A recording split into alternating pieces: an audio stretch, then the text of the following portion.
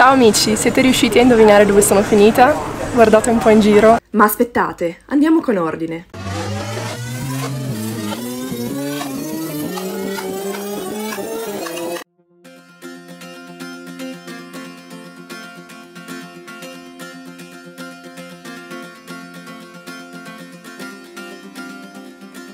Ai primi di marzo ho iniziato a fare i preparativi per lasciare la barca a vela sulla quale vivo e fare le valigie per partire alla volta di una grande avventura.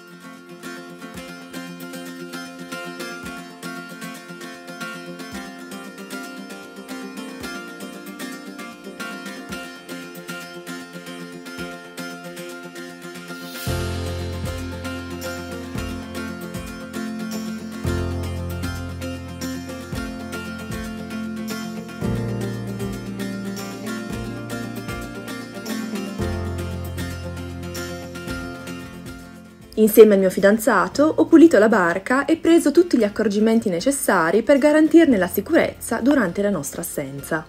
Abbiamo chiuso le prese a mare, sistemato gli ormeggi in vista del possibile brutto tempo, riposto tavolo e piante, liberato il pozzetto e svuotato il frigo preparando la classica insalata del velista, in cui confluiscono tutti gli avanzi della cambusa.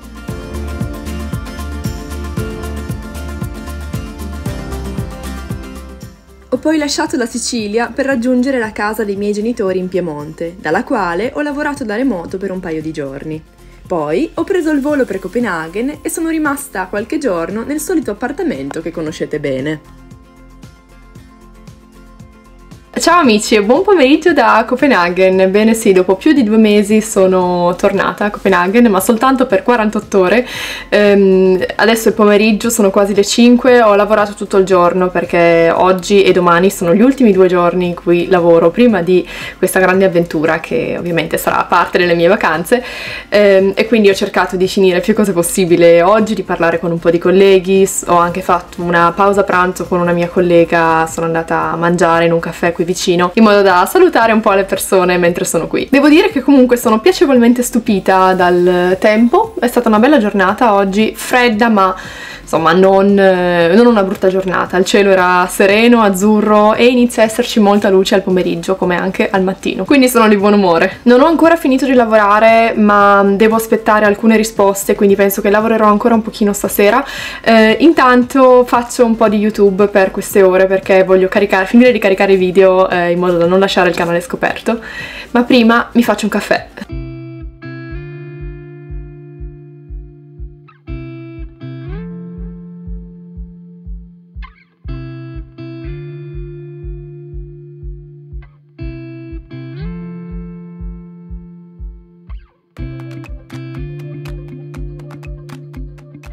Ciao amici, giornata di lavoro super intensa, come forse potete intuire dalla mia faccia un po' stravolta.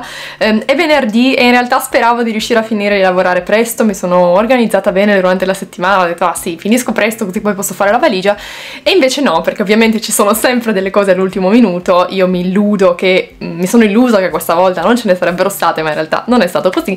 Eh, e come sempre prima delle vacanze c'è sempre un pochino di ah, finisci questo, finisci quello e saltano fuori nuove cose che sembrano super urgenti urgenti, di lavoro ovviamente. E, però adesso spero di aver finito, sono le sei e mezza, c'è ancora un pochino di luce fuori e adesso è ora di fare la valigia, starò via quattro settimane, quindi un periodo molto lungo e andrò in un posto che è uno stato solo, dove però ci sono tanti climi diversi, quindi mi devo portare un po' di tutto. Non vi dico dove vado, voglio vedere se riuscite a indovinare, quindi fatemi sapere nei commenti se riuscite a indovinare e sicuramente quello che vi mostrerò adesso e che metterò eh, nel mio zainone da backpacker ho già detto che forse faccio backpacking quello che metterò nel mio zainone vi fornirà qualche indizio e qualche altro indizio ve l'ho già dato nei video precedenti, quindi vediamo chi di voi indovina. Allora, qui abbiamo la roba un pochino più estiva, leggera, un po' di costumi, vabbè, un asciugamano, una maschera da sub e eh, uno snorkel. Poi qui abbiamo un, un, po' di roba più sportiva, leggings vari, vabbè, un caricatore, ehm, roba per fare trekking un po' più al freddo, delle maglie, mm, nel caso in cui faccia freddo, eh, una giacca da pioggia, una giacca impermeabile, una fascia, roba, insomma, andiamo sempre più verso il freddo qua ehm, e poi niente, quello che mi metterò durante il volo. E quindi da questo intuite che ci sarà un volo, forse più di uno.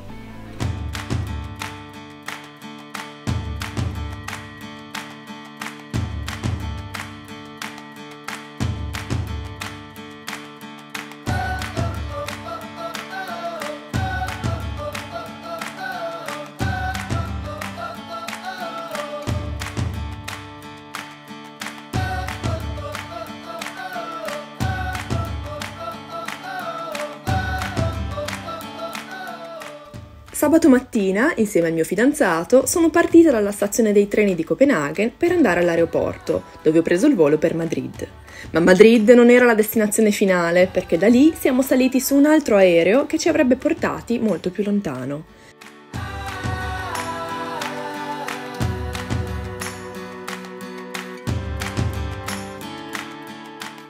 È stato uno di quei voli belli in cui si guardano film, si viene serviti e riveriti con un sacco di cibo e si possono ammirare le nuvole che danzano sull'oceano fuori dal finestrino. E dopo quasi 13 ore siamo arrivati a destinazione. Amici, siete riusciti a indovinare dove sono finita? Guardate un po' in giro. Sono a Quito, la capitale dell'Ecuador, quindi sono un po' dall'altra parte del mondo e mm, farò backpacking, quindi viaggerò con lo zaino in spalla per le prossime 4 settimane eh, in giro per l'Ecuador. Vi porterò con me in ogni passo di questa avventura così scopriremo insieme una terra nuova. L'ostello nel quale abbiamo soggiornato nel cuore di Quito è il Secret Garden, molto famoso tra i backpackers a Quito e in Ecuador per l'atmosfera vivace e la terrazza panoramica. Quito, la capitale dell'Ecuador, si trova sulla linea dell'equatore sulla cordigliera delle Ande, ad un'altitudine di ben 2850 metri sopra il livello del mare, cosa che la rende la seconda capitale al mondo per altitudine. Proprio perché è incastonata tra le montagne, Quito ha un clima molto variabile, spesso nuvoloso e piovoso, e si dice che chi visita Quito possa vivere tutte e quattro le stagioni in un solo giorno. Dopo colazione siamo usciti alla scoperta del barrio Antiguo, cioè il centro storico di Quito, caratterizzato dai suoi edifici colorati in stile coloniale. Per prima cosa ci siamo diretti verso la Basilica del Voto Nacional, la più grande basilica neogotica del continente americano. Ne abbiamo ammirati interni e vetrate e abbiamo passeggiato nella zona circostante.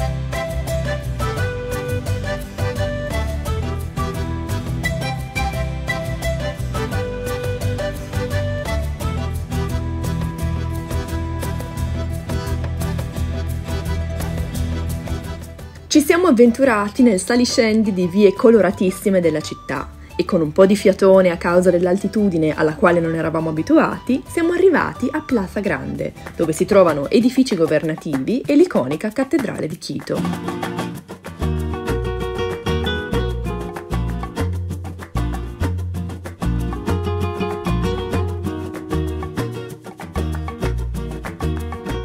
Mentre ammiravamo Plaza Grande è iniziato a piovere, a riprova del fatto che il meteo sulle Ande cambia la velocità della luce. Allora ci siamo infilati in un ristorante super super locale dove abbiamo preso un almuerzo, cioè un pranzo completo ecuadoriano con zuppa, secondo contorno e bevande, per soli 2,50 dollari a testa.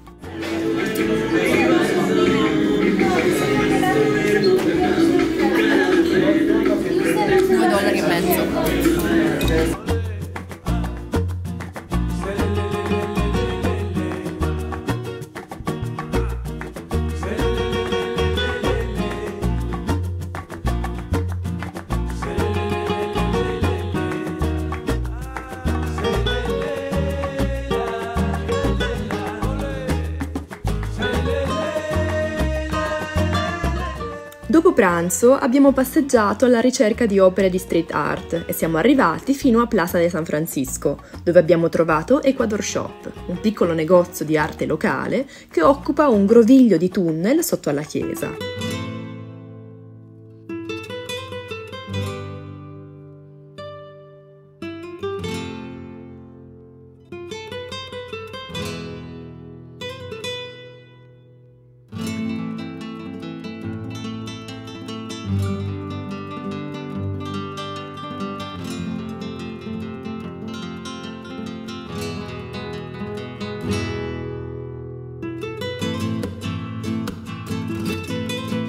Una vera e propria perla, da visitare anche solo come museo.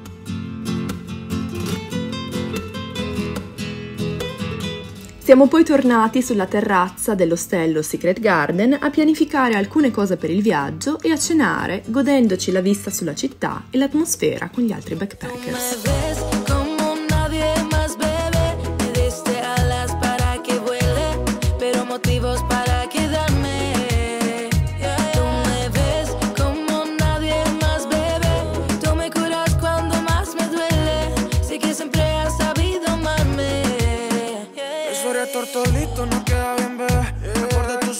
Diciendo que no ven que esto sea duradero, que sea algo sincero, que un perro no cambia y eso es lo que es él.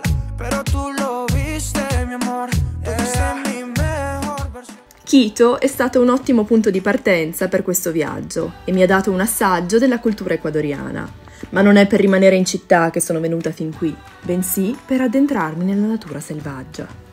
Rimanete con me la prossima settimana, quando realizzeremo insieme il sogno di approdare alle isole Galapagos e seguire le tracce di Darwin alla scoperta degli animali che le abitano.